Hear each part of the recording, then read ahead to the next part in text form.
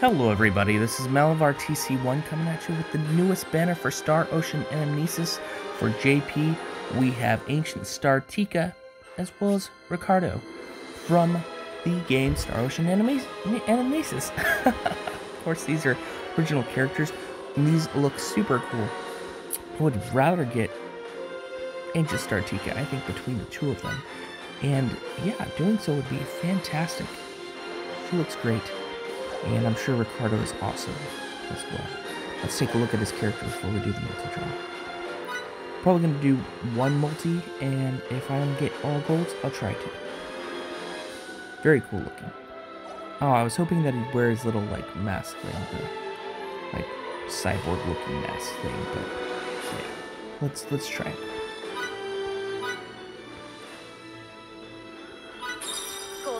Okay, we got some rainbows. Oh, we got a rainbow.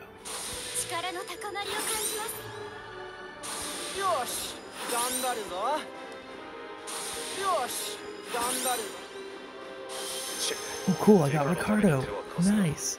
I haven't gotten like a character from from Honor Banner for a while, so this is this is good news. Cool. Well, I I was satisfied getting him considering that like um the characters are pretty awesome i i was hoping to get one of them so.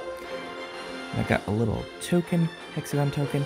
I don't think i'll pull again mainly because uh my luck doesn't usually run very well in star ocean anamnesis jp but i'm glad i got it yeah super cool. New defender probably probably use him on the battlefield. That's what he looks like with full stats. Pretty heavy in the attack.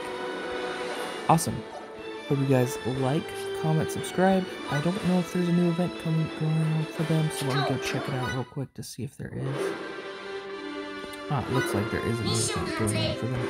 So I'll probably get through this and maybe do a multiplayer session in a future live stream for like a midday live stream. So make sure you check out for that and and have the bell notification icon on so when I do a multiplayer session for this, you'll be able to join on in.